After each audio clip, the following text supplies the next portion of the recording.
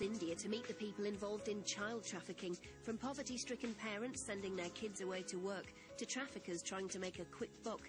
Lindsay questions if there's any solution to this abominable trade. The whole situation is heartbreaking because the parents aren't necessarily in the wrong. The children are, are obviously not in the wrong. Um, the traffickers are the ones in the wrong because they know what they're doing. And anyone that says that they, that they don't know, I mean, come on.